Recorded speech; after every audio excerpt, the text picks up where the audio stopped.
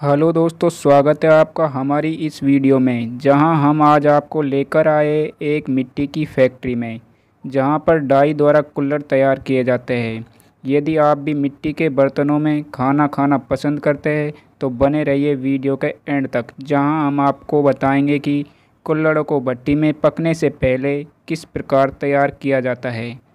आप स्क्रीन पर देख रहे होंगे कि सबसे पहले कुल्लड़ों को रेगमाल से सफ़ाई की जाती है। और इनके छोटे छोटे बंडल तैयार कर लिए जाते हैं और इसके बाद इन्हें भट्टी में पकने के लिए रख दिया जाता है। यदि आप भी लस्सी वाले कुल्लड़ या चाय वाले कुल्लड़ हमसे मंगाना चाहते हैं तो हमसे संपर्क कर सकते हैं। संपर्क के लिए हमने अपने नंबर डिस्क्रिप्शन बॉक्स में या स्क्रीन पर दे दिए, जहाँ से आप इन नंबरों के द्वारा हमसे संपर्क कर सकते हैं। धन्यवाद दोस्तों।